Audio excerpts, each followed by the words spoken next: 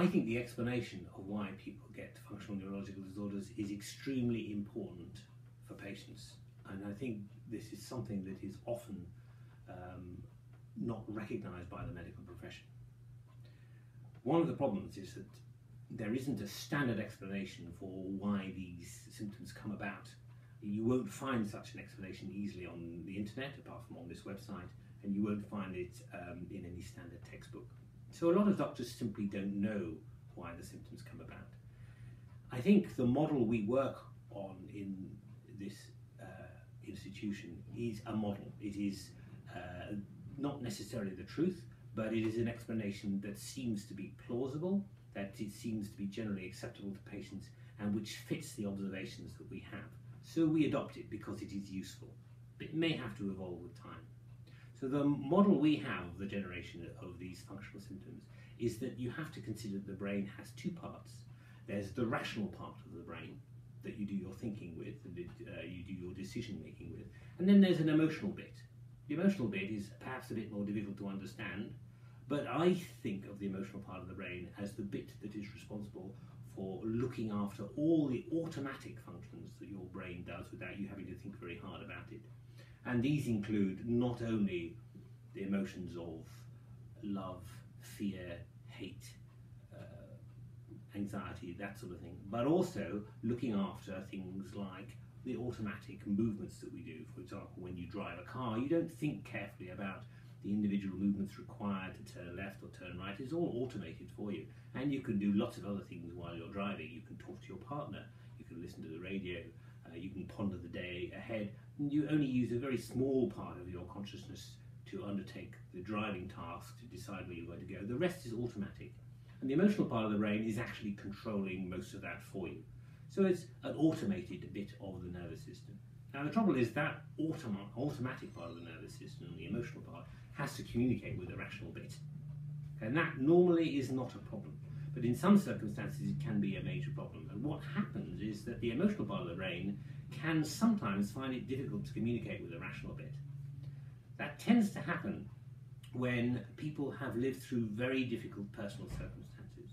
So when you're living uh, your life through uh, high levels of anxiety or stress or uh, emotional difficulties, what tends to happen is that the natural response to that is to suppress your emotional response to it. You get, if you like, habituated to these high levels of stress and you cease to be sensitive to them after a while.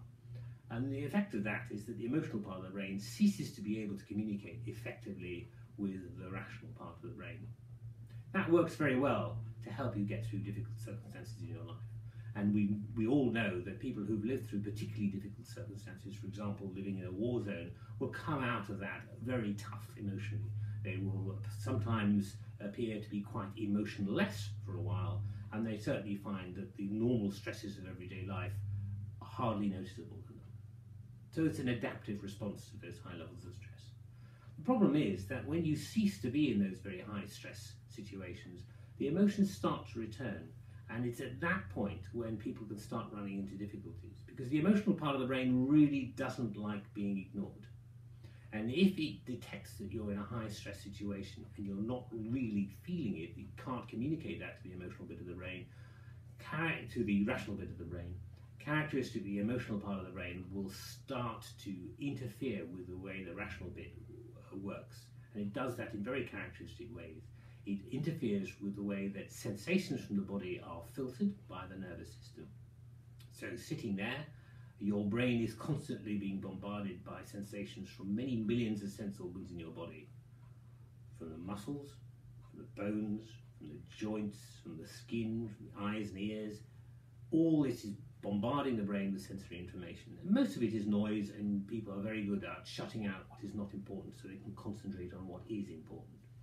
In these circumstances, the emotional part of the brain can fiddle with that filtering process. It can either turn up the gain so that sensations get through to consciousness which shouldn't, which should normally be filtered out, or sometimes it goes the other way and turns down the gain so that you can't really feel what should be there. And that the correlate of that is either feeling things that aren't really there or feeling pain more intensely than it is, or sometimes losing sensation in part of your body. The other thing that the emotional part of the brain can do is interfere with the link between willing movement, that is, deciding you want to move, and executing movement. Uh, if you find that difficult to understand, I usually use the simile of, say, wanting to do a bungee jump. There are some people who decide they want to do a bungee jump and they'll go into the middle of the bridge and they'll get themselves kitted out with the harness, and then they find when they come to the jump that they just can't jump. They can't move and uh, they freeze. However hard they try, however embarrassing it is that they can't do the jump, they just find they can't do it. And that's not because they're sick in any way, it's because the emotional part of the brain says, no, it's too dangerous, not doing that and they can't do the jump. So, in the same way, in, in, these circumstances, the emotional part of the brain can actually stop people moving. It can interfere with that link between saying you want to move your arm and actually executing it. And that feels very odd. In the case of the bungee jump, you know deep down that it's fear that's stopping you doing the bungee jump. But when you have this underlying emotional disconnection caused by living through very difficult circumstances, you lose that ability to feel the emotion behind it. All you feel is that something's stopping you moving. it feels as if you've forgotten how to move your limb, and that can be very disconcerting. Sometimes it goes the other way, and move, extra movements are generated by the nervous system, and that's why people get tremors.